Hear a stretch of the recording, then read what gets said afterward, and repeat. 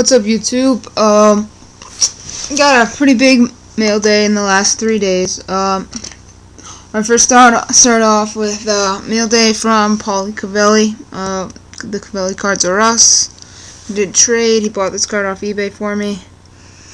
This is my second one. Uh, Cecil Shorts three color patch autograph. Uh, now I think I'm I think I'm done with the plain ones now, like this. Uh, maybe try to get some colored ones. Maybe the red one to 25.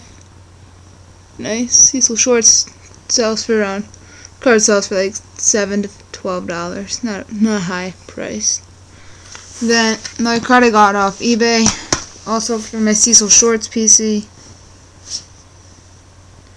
Uh, Letterman, Cecil Shorts, rookie, number to 450.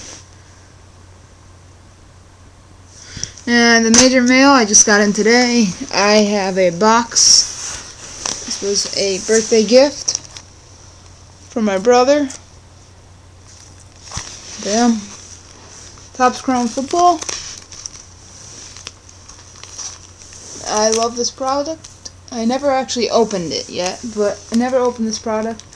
But from watching breaks and everything, I love this Topps Chrome. I also like Topps 2010 Topps Chrome Baseball also, but Topps Chrome Base Football. So, great box. Guys, um, it's a birthday gift from my my brother.